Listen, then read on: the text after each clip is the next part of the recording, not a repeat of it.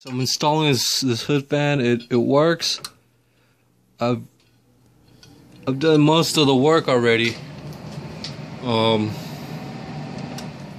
So first you want to prep the area, like I've been explaining in other videos, and then you want to um use cap connectors rather than soldering.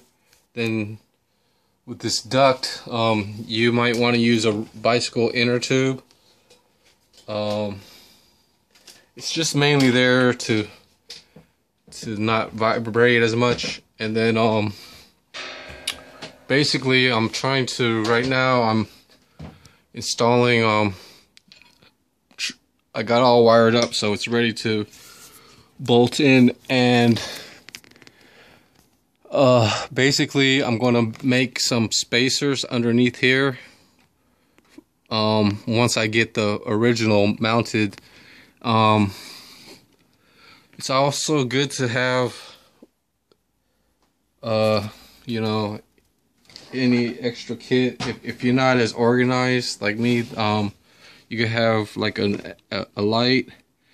This headlight kind of, the batteries kind of don't work. Um, so I've got all this stuff laying around. These coffee cans are are were good for me um, to help raise this. Um, you could build like a wood frame and then and then raise it up and keep it leveled up. So having a good light is probably the best thing. Um, to have because uh, you can see exactly where it's going. So I'm going to um, basically try to install the last four bolts into this cabinet and then um, that will be all for today once they're in pretty good and then um, I've got a choice of using the ones they gave me or some other ones um, basically I could uh I'm probably gonna use the ones they gave me because they're a little longer. And um I'm gonna use it with the washer. Um and then if I um if something were to happen then then I'll have to uninstall it. Or I mean if something were to happen with the mounting then I would have to uninstall it and use longer drills screws, I mean. So basically, um, I'm just, uh, kind of tired because this, this, it, you know, so I'm gonna just try to mount this up with the cans and things. So basically, uh, I'm gonna have to patch up, but I added the screw to help hold it in place. Um, after I saw there's no gap, I'm just gonna um, add some screws. Oops. and um,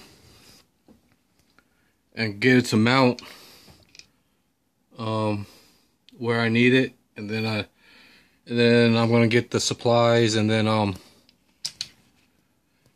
uh, and then I'm gonna get the paint, some more paint, and maybe some caulk, and I'm gonna touch up everything and I'm gonna make the spacers too.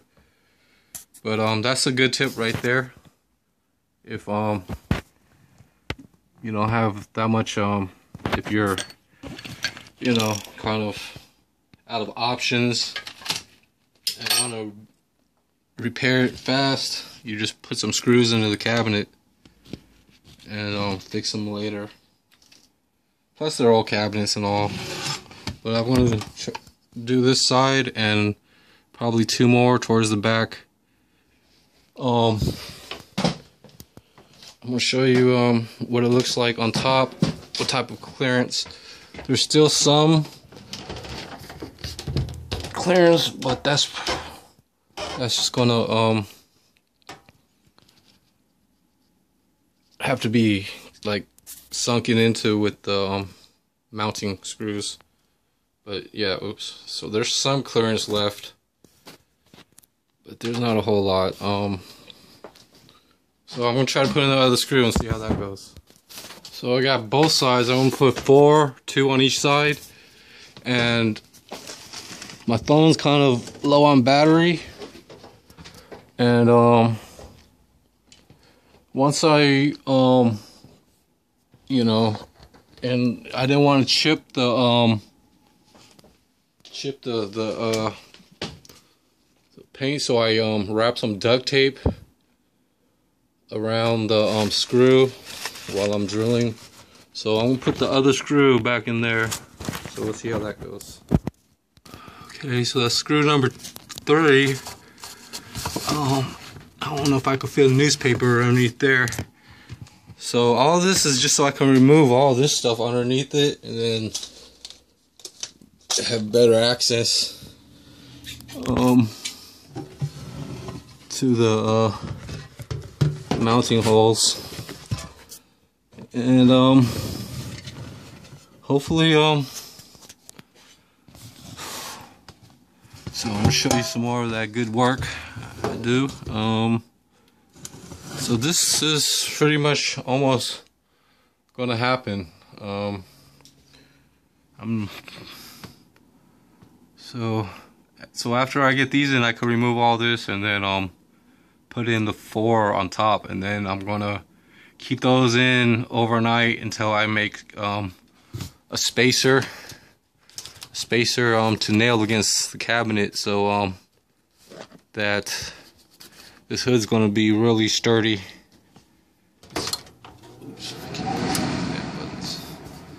And with these in, I could adjust the alignment and stuff.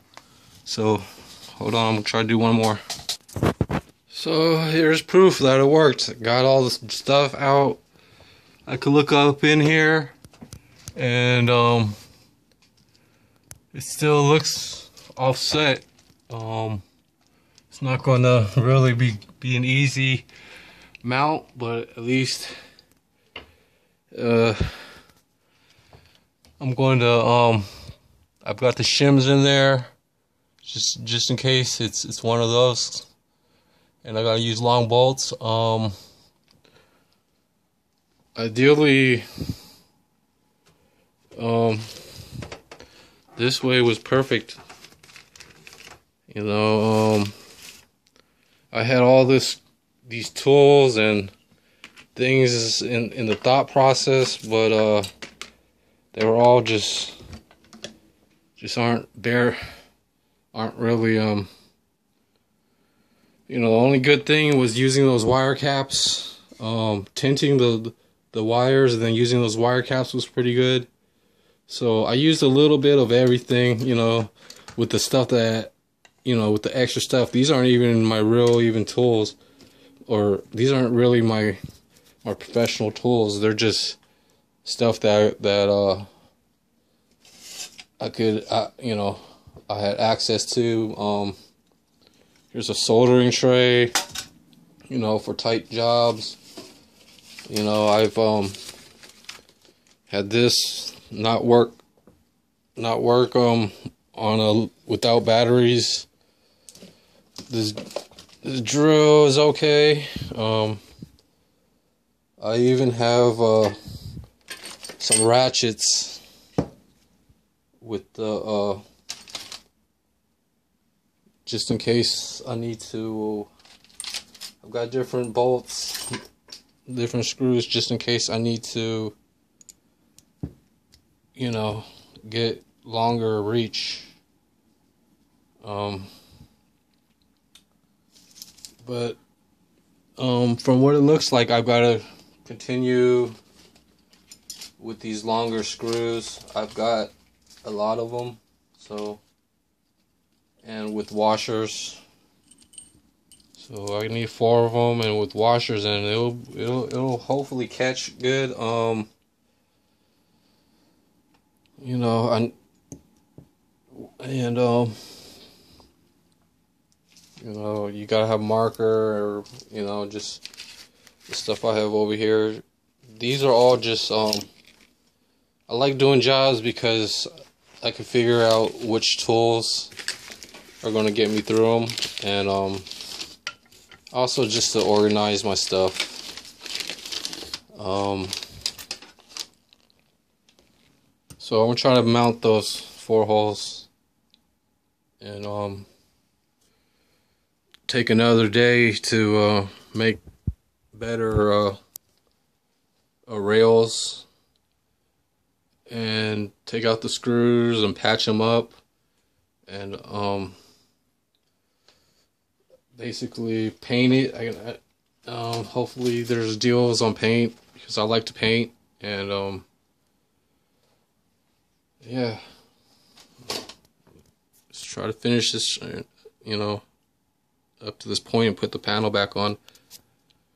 So all all hood fans aren't all the same um these this one just had a panel and the fans and some screens for the fan and here's a screen for the fan um so hopefully I, I uh, finish up to that point. I'll be back. Alright, so I got one screw in. Oh no. And then I've got two screws in. The screws in the the two screws in the back, I'm gonna probably finish one. But um I had to use the longer screws with the washer and then a ratchet and um, extension and um, a light kind of helped. Um, also with this surface, um, I got a piece of wood, the stove, glass stove surface. Uh, I got a piece of wood and I dropped one of these um, duct taped screws the um, the heavy duty um, mounter um, behind the stove, so I gotta pull the stove forward and or maybe use a magnet wand. I think I saw one. Um, yeah, um, kind of almost done.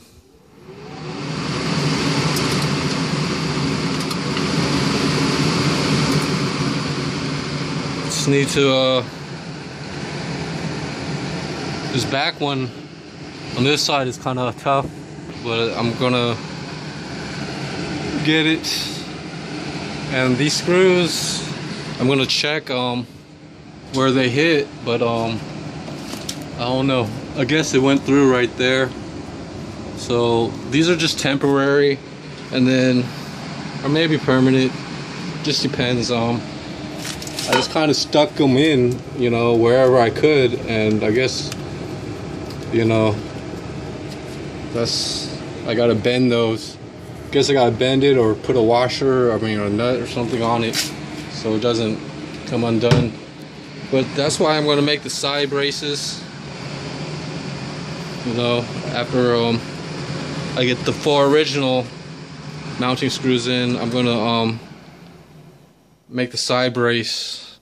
It'll be good for back one, but um, yeah, uh, it's good to have this cooking fan because you know you could cook, and I've got a, you know, you, you know, and um, so the kitchen doesn't get super smoky and you know um I've I've even had to like you know when when you're steaming stuff it just steam gets everywhere and um yeah. That's just the main main um the main tip of installing these is to just um put in some um screws into the cabinet and um, make make a better brace for under here you know once once the other ones are installed, you could take these out. Well, thanks for watching. Um, it's better than what I started with today, you know, having to do the whole thing, having to wire and think about soldering things, but the solder didn't work, but using the wire caps did. And um, thanks. Have a good one. Bye.